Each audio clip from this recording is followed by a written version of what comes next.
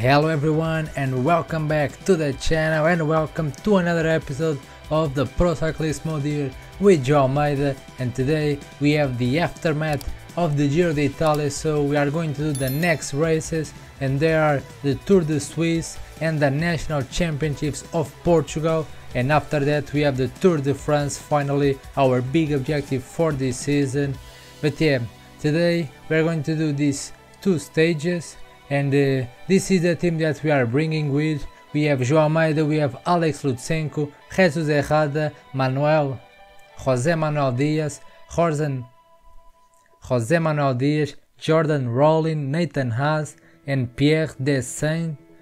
Uh, and uh, yep, once again, it's not an easy race. The Tour de Suisse is very difficult, as we all know. A lot of big uh, mountain stages we start with a hilly time trial of 17 kilometers. We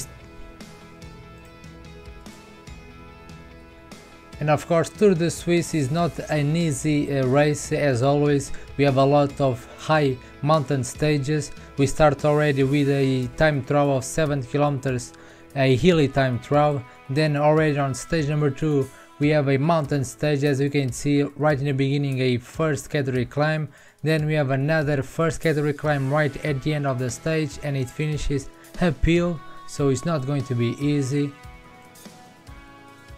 Then stage number 3 once again another big mountain stage with a first category and a special category climbs on the, the race or on the stage.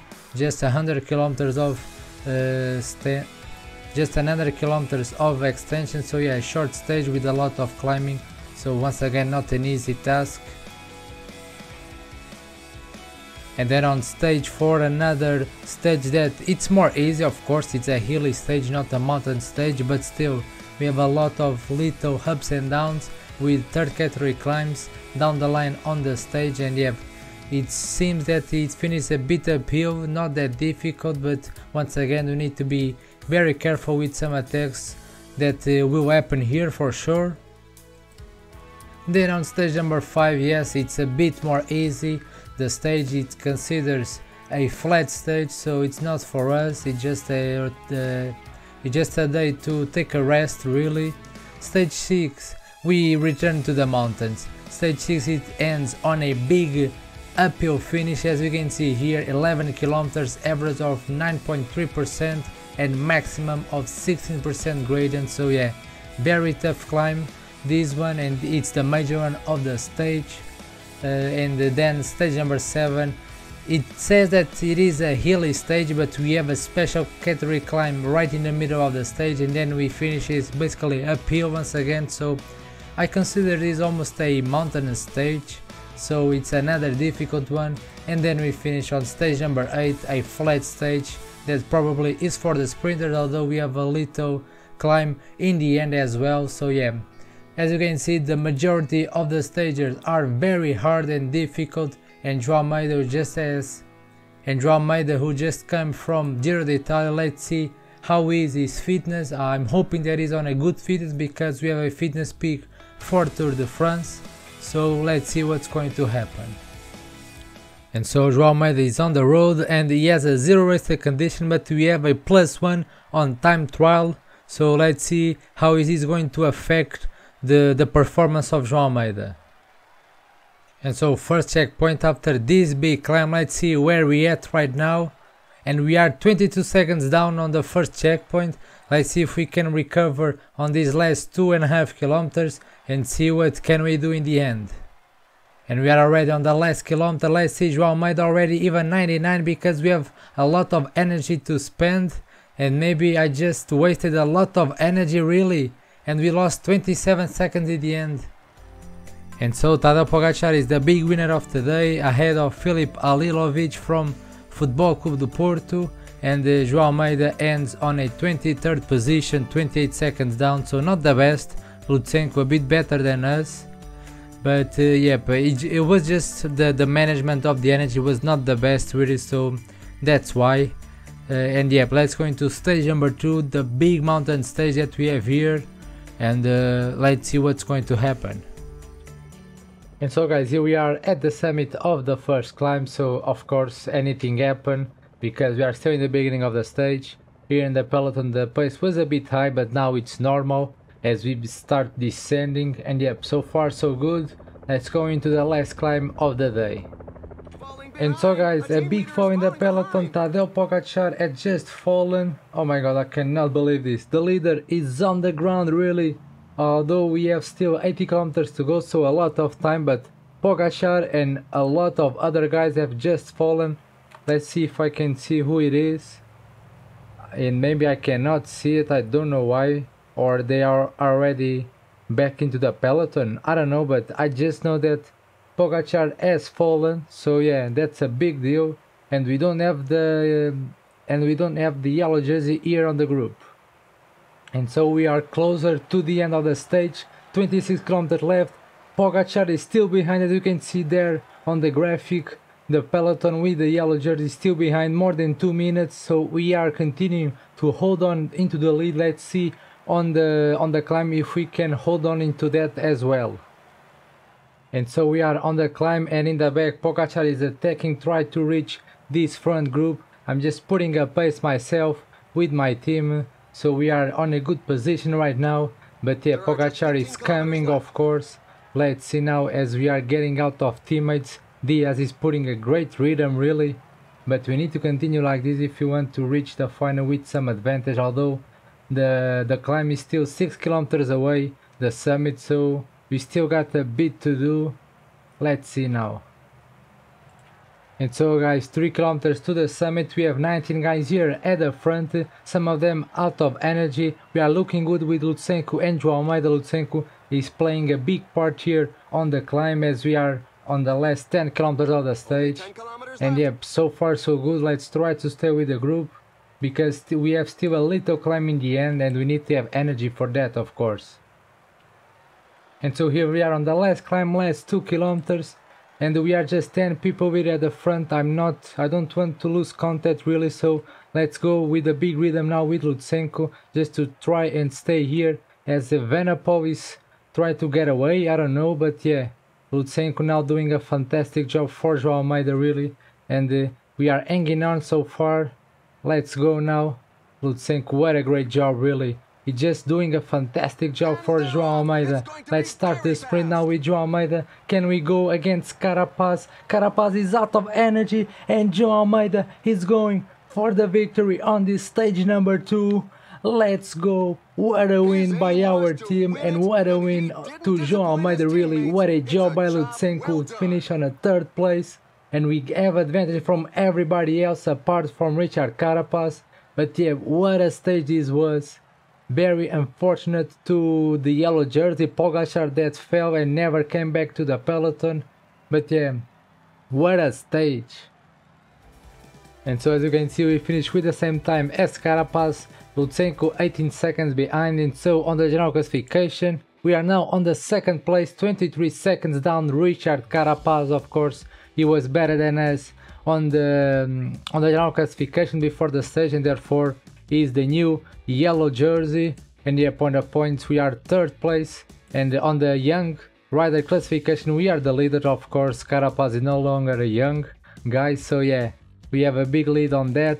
On the mountain Lutsenko is the leader now which is good. And yep well, what a great stage this was really. And now for stage number 3 it is another mountain stage. As you can see a first category and a special category climb uh, right in the middle and at the end of the stage. This one it finishes downhill, so let's see what's going to happen. And so guys, as we can see here we are 1.4 km away from the summit of the first climb and the group is already very short, 39 guys here. As you can see we only have 3 guys, Lutsenko, Almeida and Diaz. Diaz and Lutsenko are on a better day but their energy are not the best as well as Joao Almeida, so yeah.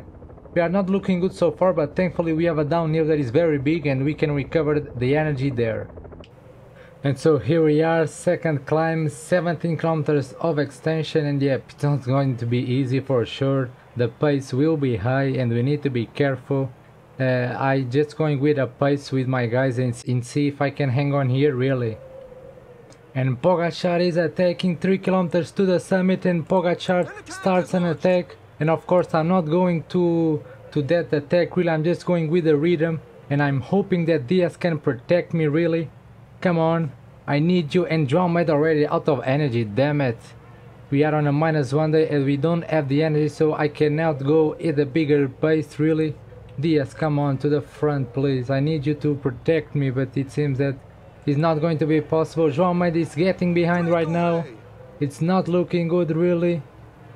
Oh god, we can lose this second place right now. Let's see. And so guys, we are reaching the last kilometer and we are going to lose a minute to the guys up front in the end. Carapaz is the winner of the stage and we are coming to try to minimize the, the, the damage but as you can see we lost at least a minute which is not good. So let's see where we are at on the general classification now. And so now on the general classification we are third, 1 minute 36 down, Carapaz is the leader still and Miguel Angel Lopez now 1 minute 8 seconds behind on the second place. And well guys, it seems that we have the fitness peak starting today, which is not good really. Although we have for 27 days, I wanted the fitness peak to the Tour de France and this is too early really. And so guys, here we are on the last 10 kilometers and Joao Almeida had just fallen alongside Lutsenko, the only two ones, alongside Marc Soler as well. I cannot believe this. On the last 10 kilometers, really? My god, this is so unlucky, really. Oh no, god, I, I have a train or I had a train just for this last climb to do something to try to win the stage and now this. I cannot believe it, damn it. Let's try not to lose time, but they are all attacking. Oh god, come on Lutsenko, try to recover to the peloton, please. Oh my god guys, I think we are in luck because the peloton was stretched out, we had a lot of little groups, but I don't think we have any time difference, so we finish with the same time in the end, even on a 66 position but we we we didn't lose time thankfully. Oh my god that scared the hell out of me really. So we are still on the third position. We did nothing in the end on the stage but we didn't lose time. That's what's most important really. And so now stage number 5 it is a flat stage so I'm just going to skip it really. It doesn't matter. Let's go into the results. And so the winner of the stage it is Fernando Gaviria ahead of Jasper Philipsen and Álvaro Hodeg and so now another big mountain stage, stage number 6 as you can see, it's basically a big uh, climb in the end. Let's see what can Joao do really because I'm not very optimistic but we have a fitness peak so maybe we can do something.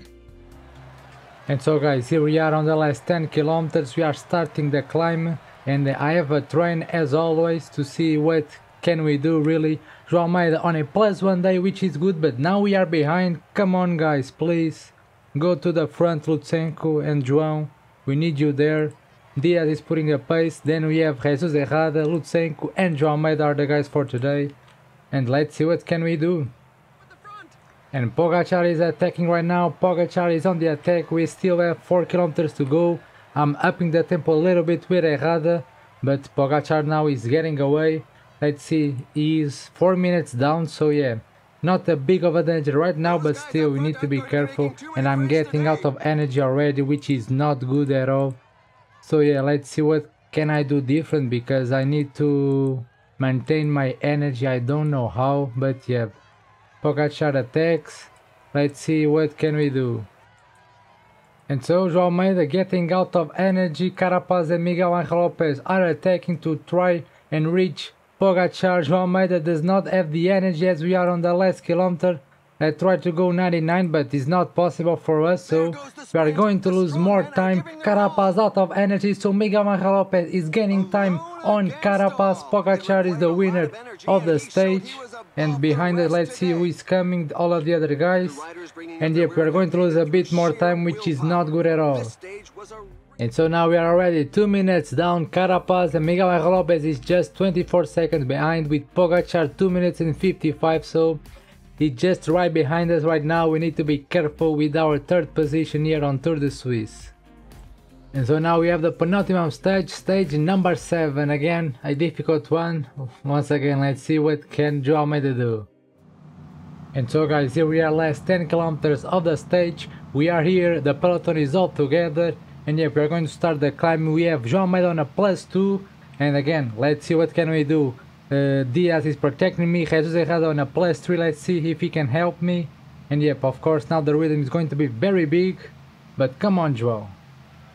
And so it seems that we have a little group in front now with 9 guys. Pogacar is one of them. We need to be careful, really. I'm trying to get to them with Herrada and we did that.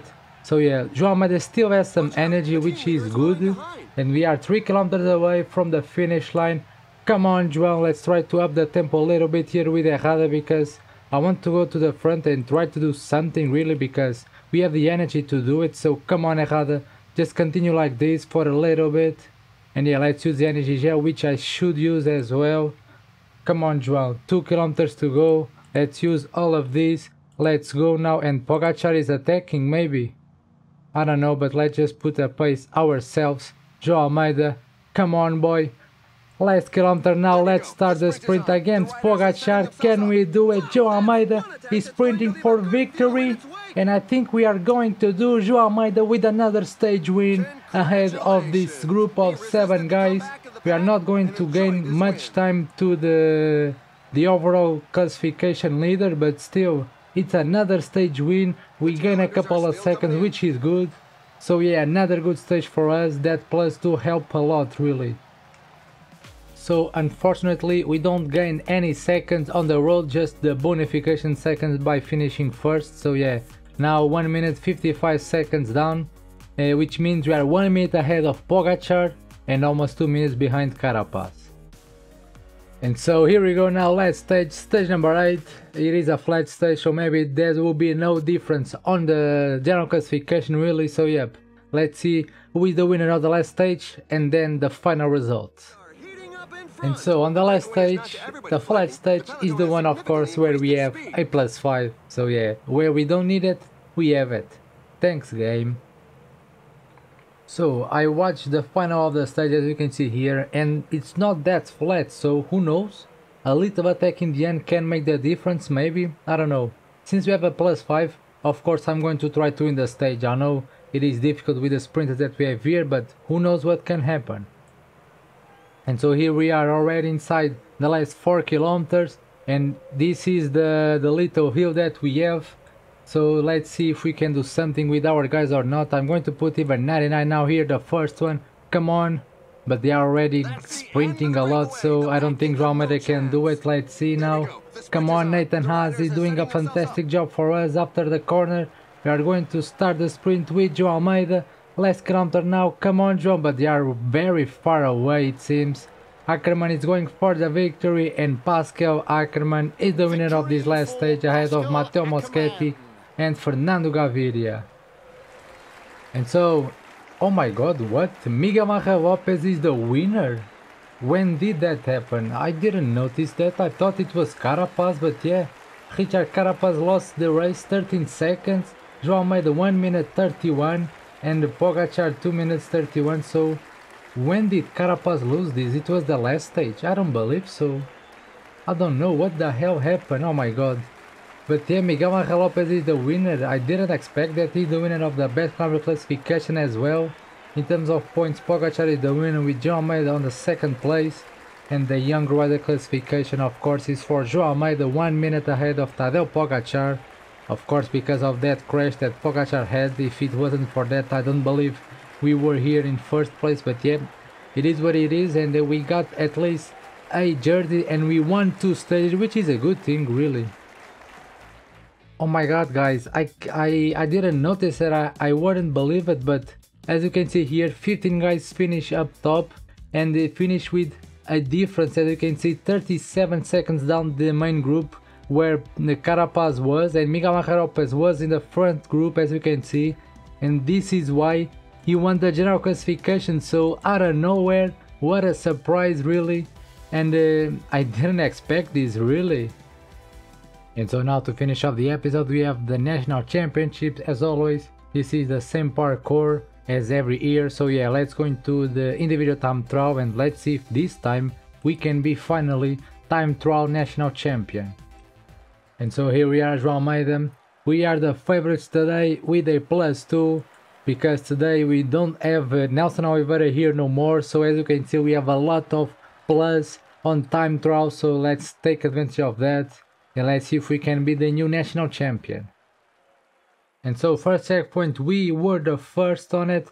Now we are on the second checkpoint. Let's see what time are we doing and we are we are very good right now and again we are first so yeah let's see if we can get first position as well on the finish line so far we are riding very good and I believe we can do it and here we are João Almeida on the last meters. He's going for the finish line and he goes for the first place. 1 minute 41 seconds ahead of José Gonçalves the second place. And yeah what a easy victory really. I can say that. It was very easy this time Tom. We don't have we didn't have any opposition really. And we are the new national champions of time trial of Portugal. And next we have the road championships. And so guys here we are on the road national championships and uh, we have a plus 3 day we are the favorites but we have a new parcours so it's not the same parcours that has been for some time now uh, but it's it's the same uh, it's a circuit so it finishes uphill or more or less so yeah. let's just hope that the breakaway does not get a win and we can try and win this jersey once again. And so last 25 kilometers and some attacks are happening. Jay Gonçalves attacked but it was for nothing really we have Frederico Figueiredo here in the front of the peloton controlling the breakaway. And yep I cannot do nothing really. I just want to stay in the peloton. They do all the work. And then I have to sprint for victory but I'm not the best sprinter here. Let's see. We have a small hill next and uh, maybe I will put a rhythm or attack that but I mean it's going to be very difficult really. Let's see what can we do. And so I'm trying a little attack last 10 kilometers of this little hill let's see what can João Almeida do I, I don't think we can get away really so I, I'm trying of course, but it's going to be difficult as you can see. Yep, that's no point of attacking. I just lost a lot of energy for doing that. And I mean, I just need to focus and try to get the win on a sprint, which will be very difficult since we have here some sprinters. As you can see here from Marquez, I'm Samsic, Rui Oliveira is the best sprinter here, so... I mean, let's see what can we do really, because like I said, it's difficult, but I need to try, I need to get once again the jersey of the national championship. And so here we are, I'm at the wheel of a sprinter Francisco comes from uh, Football Club do Porto and yep, let's see what can we do and why am I getting behind now, come on guys, last two and a half kilometers the peloton just stopped really. And I'm not going for, like, I mean I need to, no I'm not going to sprint already, let's just stop it now I'm going to take this to the line really. Let's see now. And let's start the sprint now. Maybe it was too late for João Almeida. My god, what am I doing? Too late really.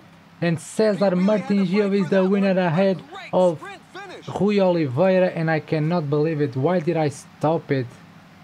I thought I, I didn't see the red flag for the last kilometer and there, the, therefore it just confuses me and yep my god, so strange. I, I, I don't, I'm not used to not having a train, so therefore, I mean, I shouldn't have stopped there, really. It was a mistake, and yep, I, we didn't win this one, but we are at least uh, national champions of the individual time trial. And yeah guys, we didn't win the world championship, but that is okay really because we already had that jersey in the past. The the the time trial was the one that I was looking for and we did that. So we are the new national championships of time trial which is awesome. So we have that jersey now to represent Portugal on the time trials. And next we have Tour de France. Let's see what can we do there. But for now this is it. Don't forget leave a like and a subscribe because it means a lot as always. And we are right on the final bit of PCM 20 because PCM 21 is right around the corner. And now I'm just going to rush a little bit and to finish off this season with João Almeida here on Pro Cycling Manager 20 to then go to the new game of the Pro Cycling Manager 21 and start new series there. So yeah I hope you like it. Stay safe. Bye bye